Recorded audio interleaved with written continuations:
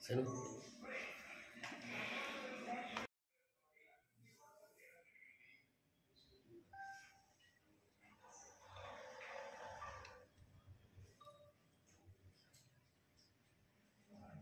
రాష్ట్ర రాజధాని హైదరాబాద్ సాక్షిగా నిన్న ఏదైతే మన తెలంగాణ ప్రజలందరి ఆత్మగౌరవానికి దెబ్బగా బీజేపీ కుట్రపూరిత రాజకీయాలు చేస్తూ మన ఎమ్మెల్యేలని కొనాలి అని వల్లపల్లినటువంటి విషయం ఏదైతే ఉందో దాన్ని తీవ్రంగా ఖండిస్తూ ఉన్నాము.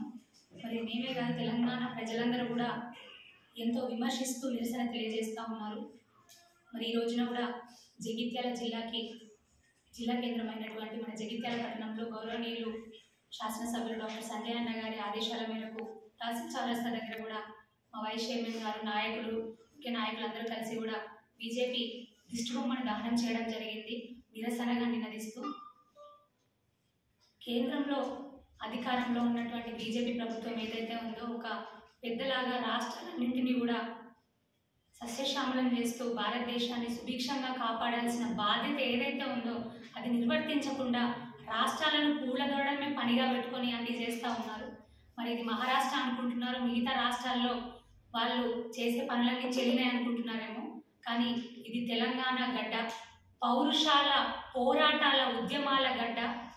తెలంగాణ నేల. మరి ఇక్కడ ఉన్నటువంటి తెలంగాణ ప్రజలందరూ కూడా పౌరుషంతో ఉన్నవాళ్ళు. మన తెలంగాణ ఎమ్మెల్యేలు నిన్న ఎవరైతే ఉన్నారో హర్షవర్ధన్ రెడ్డి గారు కానివ్వండి గువ్వల బాలరాజు గారు కానివ్వండి కాంతారావు గారు కానివ్వండి వీళ్ళందరూ కూడా అసలైన తెలంగాణ నేల పౌరుషాన్ని చూపిస్తూ వారు చేసినటువంటి కుటిల కుట్రపూరిత రాజకీయాలకు స్వస్తి చెప్పే విధంగా వారికి బుద్ధి చెప్పే విధంగా ఒక చెప్పు చెప్పు దెబ్బలాగా కూడా మరి వారు పనంగా పెట్టాలనుకున్నటువంటి మన తెలంగాణ ఆత్మగౌరవాన్ని కాపాడుతూ నిజంగా ఈరోజు హీరోలుగా వారు నిరూపించుకున్నారు. ఎందుకంటే మన తెలంగాణ రాష్ట్రానికి గౌరవ ముఖ్యమంత్రి వర్య వర్యులు కేసీఆర్ గారు శ్రీరామ లక్ష రక్షలాగా ఉన్నారు. మనల్ని కాపాడుతూనే ఉన్నారు. మరొకసారి బీజేపీ విషపూరిత రాజకీయం బయటపడింది. ఇది ప్రజాస్వామ్యానికి ఒక మారని తీయలేని మచ్చ విడిపోని ఒక మచ్చలాగా మరి ఉంది. వారు ఎప్పుడు మాట్లాడుతూ ఉంటారు చెప్తూ ఉంటారు. దేశం కోసం ధర్మం కోసం అని. మరి ఇదే నా ధర్మం? ఇట్లాంటి ఒక కుట్ర రాజకీయాలకి ఒక కుటిల నీతికి ఇలాంటి ఒక ఎమ్మెల్యేలను కొనడానికి వచ్చి బ్రోకర్లుగా సన్యాసులను వాడుకోవడం ఇదే నా కోసం ఇదే నా దేశం కోసం. వాళ్ళు మంచి బోధించాల్సింది పోయి ఇట్లాంటి పనుల వాళ్ళు చేసేది? డైరెక్ట్గా ఎదుర్కొనే దమ్ము లేక టీఆర్ఎస్ పార్టీని ఎదుర్కొనే దమ్ము లేక ఇట్లాంటి నీచమైన రాజకీయాలన్నీ చేస్తూ ఉన్నారు బీజేపీ ప్రభుత్వం. మరి ఈరోజు తెలంగాణ బిడ్డల ఆత్మ గౌరవం అంతా ఒక్కసారిగా బగ్గుమన్నది. ప్రజలందరూ కూడా నిలదీస్తూ ఉన్నారు. మేము కూడా టీఆర్ఎస్ పార్టీ తరపున ప్రజలందరికీ కూడా తెలియజేస్తూ ఉన్నాము. మరి మన ఒక ఆత్మగౌరవాన్ని పణంగా పెట్టడానికి వాళ్ళు మనం మనల్ని మరింతగా ప్రలోభ పెడుతూనే ఉన్నారు పెడుతూనే ఉన్నారు. కానీ ఇది అసలైన సమయం వచ్చింది. ప్రతి ఒక్కరూ కూడా నినదిస్తూ నిరసన తెలియజేస్తూ మన హక్కుల్ని మనం కాపాడుకోవాల్సిన సమయం ఇది.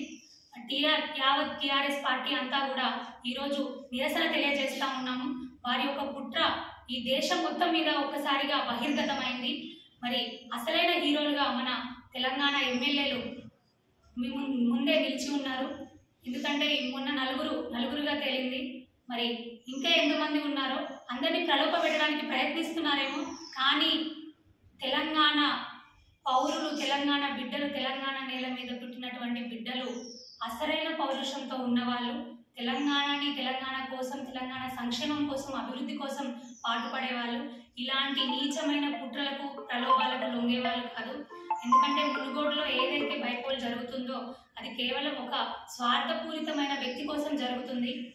మరి ఇలాంటి ఒక స్వార్థపూరితమైన రాజకీయాలకు ఎవరు ఉన్నారు తెలంగాణ ప్రజలందరూ మరి ముఖ్యంగా మునుగోడు ప్రజలు వారి ఓటు ద్వారా బీజేపీకి ఖచ్చితంగా బుద్ధి చెప్తారు. ప్రతి ఊరిలోనూ ఈరోజు రాష్ట్రం అంతే చూస్తుంటే ప్రతి ఊరిలోనూ ప్రతి పట్టణంలోనూ వాడవాడన ఎక్కడికక్కడ కూడా నిరసన కార్యక్రమాలు బగ్గుమంటున్నాయి. మరి మరొక్కసారి బీజేపీ ప్రభుత్వం ప్రధాని మోదీ గారు మరి ముఖ్యంగా బండి సంజయ్ గారు అన్ని ఫాల్స్ మాటలు చెప్తూ ఏవేవో మాట్లాడుతూ ఉంటారు దేశం కోసం ధర్మం కోసం ఇవన్నీ మాట్లాడుతూ ఉంటారు. మరొక్కసారి ప్రజలందరికీ కూడా ఆ ధర్మం కోసం ఏందో ఆ దేశం కోసం ఏందో మరి అంతా బహిర్గతమైంది. ఇప్పుడైనా వాళ్ళు మరి తెలంగాణ రాష్ట్రాన్ని వదిలిపెట్టి వారి యొక్క నీచమైనటువంటి రాజకీయాలకు స్వస్తి చెప్పవలసిందిగా ఈరోజు పార్టీ పక్షాన నినదిస్తూ నిరసన వ్యక్తం చేస్తూ ఈరోజు మేమందరం కూడా తెలియజేయడం జరుగుతూ ఉంది. మరి మరొకసారి బీజేపీ పార్టీకి తెలంగాణ ప్రభుత్వం నుంచి హెచ్చరిక చేస్తున్నాం. తెలంగాణ ప్రజల పక్షాన టీఆర్ఎస్ పార్టీ పక్షాన ఇంకొకసారి మా జోలికి వేస్తే మాత్రం మంచిగా ఉండదు. ఎందుకంటే పౌరుషాల నేల అంత గట్టిగానే తిప్పి కొడుతుంది. అంత గట్టిగానే మీరు ఎంత పన్నాగాలు పన్నినా అది మీకే రివర్స్ అవుతుందని మరొకసారి తెలియజేస్తా ఉన్నాము. మీడియా మిత్రులకు అందరికి కూడా నమస్కారం. ఈరోజు టిఆర్ఎస్ పార్టీ మన వర్కింగ్ ప్రెసిడెంట్ కల్వకుంట్ల తారక రామారావు గారు అదేవిధంగా స్థానిక శాసనసభ్యులు నా సంజయ్ అన్న గారి ఆదేశాల మేరకు మా చైత్యాల జిల్లా కేంద్రంలో మా నాయకుల అందరూ కూడా నాయకుల పక్షాన అక్కడ బీజేపీ దిష్టిబొమ్మ దహనం. అనంతరం మరి వాళ్ళు బీజేపీ వాళ్ళు చేస్తున్న కుట్రపూరిత రాజకీయాలు ప్రజలకు తెలియాల్సిన అవసరం ఉంది కాబట్టి ఈరోజు కార్యాలయంలో వారి ఆదేశాల మేరకు పెట్టడం జరిగింది.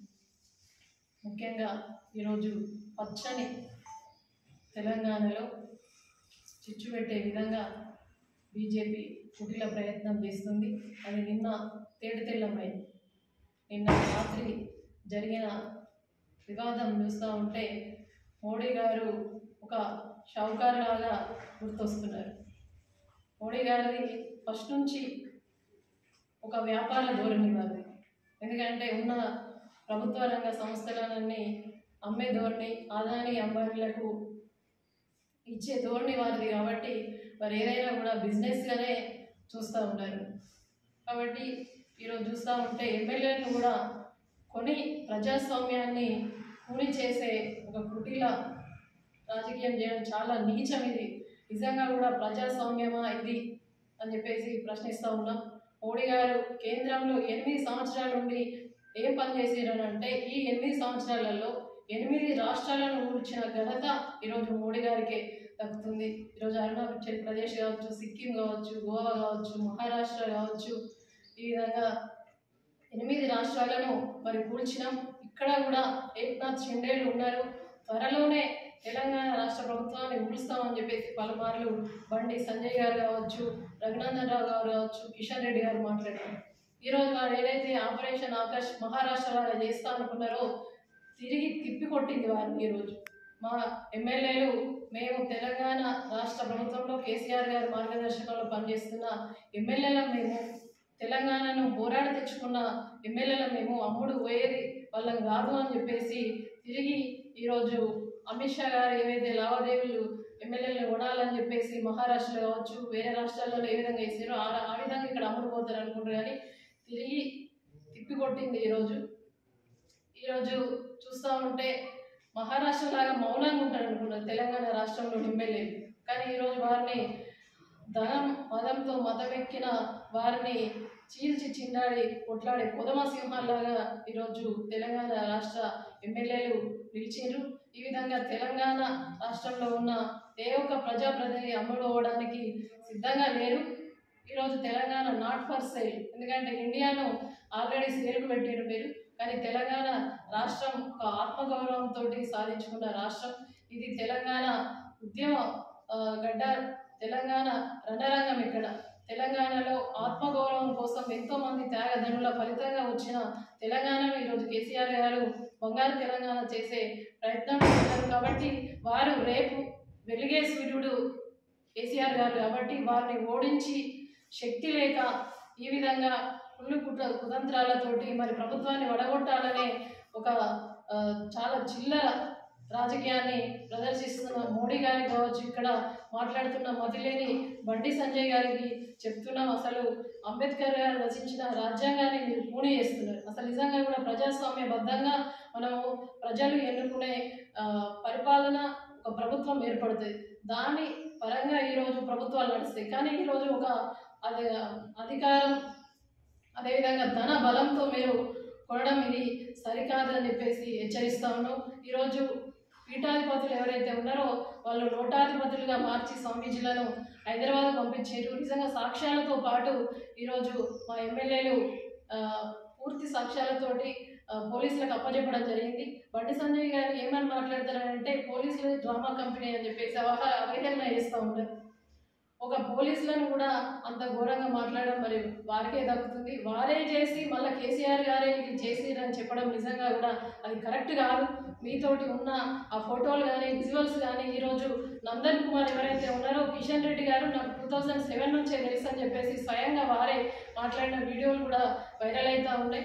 కాబట్టి మీకు ఏదైతే మాకు మీరు తెలంగాణలో నూకలు తిని బతకాలని చెప్పేసి చెప్పినరో మీకు వచ్చే ఎలక్షన్లలో తెలంగాణ గడ్డపై అడుగుపెట్టే అర్హత లేదు. అదేవిధంగా మీకు నూకలు చెల్లాయని చెప్పేసి చెప్తా ఉన్నాం. మీరు అభివృద్ధి సంక్షేమంతో ప్రజలను ఆకర్షించాలి తప్ప ఈ ధనబలంతో ఆకర్షించడం చాలా తప్పు. ఎంత నీచమని అంటే చాలా చూస్తూ. ఉండే దుర్గా దుర్మార్గమైన చర్య అనిపిస్తుంది. ఈరోజు మా కల్వకుంట్ల కవితక్క గారిపై కూడా అనవసరంగా నిరాధార ఆరోపణలు చేయడం. ఎందుకంటే అది కూడా కేసీఆర్ గారి ప్రతిష్టను భంగపరిచే విధంగా గారికి ఉన్న ఆదరణ ఓర్చుకోలేక మీరు నిరాధారమైన ఆరోపణలు చే చేశారు. కాబట్టి ఇదంతా కూడా ఒక నీచపు రాజకీయం రాజకీయం అని చెప్పేసి అర్థమవుతా ఉంది.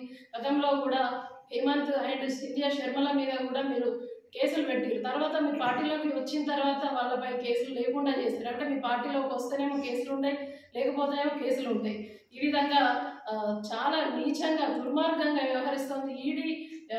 ఈ మోడీలు కూడా వాళ్ళ జేబుల్లో సంస్థల్లాగా వ్యవహరిస్తున్నారు. ఈరోజు మునుగోడు ఎలక్షన్లో చూసుకున్నట్టయితే నిజంగా తెలంగాణ ఆత్మగౌరవానికి మరి కాంట్రాక్టర్ ఇచ్చినటువంటి రాజగోపాల్ రెడ్డి గారికి జరుగుతున్న ఒక ఎలక్షన్ అని ఈరోజు పద్దెనిమిది వేల కోట్లకు అమ్ముడు పోయిన రాజగోపాల్ రెడ్డి లాగా మా తెలంగాణ టీఆర్ఎస్ ఎమ్మెల్యేలు అమ్ముడు ఓరని చెప్పేసి హెచ్చరిస్తున్న వారు మరి రుజువు చేసిరు నిజమైన నిక్కాసైన తెలంగాణ బిడ్డలని ఈరోజు మా నలుగురు ఎమ్మెల్యేలు కూడా రుజువు చేసినందుకు ఆ విధంగానే ఫ్యూచర్లో కూడా ఏక్నాథ్ షిండేలు మా టీఆర్ఎస్ పార్టీలో ప్రభుత్వంలో ఎవరు కూడా లేరు.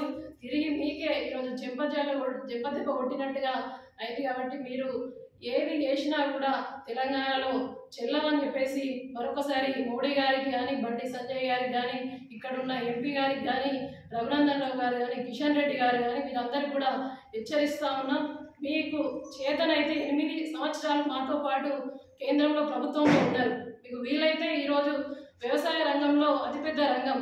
మీకు వీలైతే వడ్లు కొనండి. వడ్లు కొనడం కూడా చేత కాదు. మేము కొనం మీరు కుక్కలు తిని బతుకుని అన్నారు. ఈరోజు రెండవ అతిపెద్ద రంగమైనటువంటి చేనేత రంగం. చేనేత రంగంపై కూడా ఫైవ్ పర్సెంట్ జిఎస్టీ విధించిన ఏ- ఏకైక ప్రధానమంత్రిగా మీరు చరిత్రలో నిలుస్తారు. ఈరోజు ఫైవ్ పర్సెంట్ కాకుండా ట్వెల్వ్ పర్సెంట్ కూడా మేము వేస్తామని చెప్పేసి ఈరోజు చేనేత కార్మికుల గొంతు నొక్కే పనిచేస్తా ఉన్నది బీజేపీ ప్రభుత్వం. మీకు చేతనైతే ఈరోజు చేనేత కార్మిక లోకానికి జీవం పోసిన మా కేసీఆర్ గారు కలిసి రండి వాళ్ళకి సబ్సిడీలు ఇవ్వండి. నలభై శాతం సబ్సిడీ ఉన్నదానికి పదిహేను పర్సెంట్ తగ్గించారు. అదేవిధంగా చాప్టర్ సిక్స్టీ వన్ సిక్స్టీ త్రీలో ఉన్న విధంగా వారికి సబ్సిడీలు ఏవైతే అందాల్సినవి కూడా దాన్ని చాప్టర్ను కూడా పూర్తిగా తొలగించిన ఘనత నీచమైన ఘనత మీరని చెప్పేసి హెచ్చరిస్తా ఉన్నాం. ఎక్కడ చూసినా పెట్రోల్ కావచ్చు గ్యాస్ కావచ్చు డీజిల్ కావచ్చు ఏది చూసుకున్నా కూడా వ్యాపార ధోరణిలో ఆదానికి అమ్మానికి అమ్మే ప్రయత్నం చేస్తున్నారు. ఈ ప్రజాస్వామ్యాన్ని కూల్చాలన్నా కూడా వ్యాపార ధోరణిలో ఆలోచిస్తున్నారు. ఇది సరైనది కాదు. మీకు త్వరలోనే తెలంగాణ బిడ్డలందరూ కూడా ఏకమై బుద్ధి చెప్తారు. మీరు నిజంగా కూడా తెలంగాణ పక్షాన ఆలోచిస్తే ఈరోజు మా ముఖ్యమంత్రి కేసీఆర్ గారు అన్నగారిన వర్గాలను ఉన్నత వర్గాలుగా తీర్చిదిద్దాలని చెప్పేసి దళిత బంధు కార్యక్రమాన్ని అమలు చేస్తున్నారు. మీకు డబుల్ ఇంజన్ పార్టీ అంటారు. మేము దళిత బంధు పది లక్షలు ఇస్తే మీరు ఇరవై లక్షలు ఇవ్వండి ముప్పై లక్షలతో బ్రహ్మాండంగా వాళ్ళు ఆర్థికంగా వాళ్ళ కుటుంబంతో బాగుపడతారు.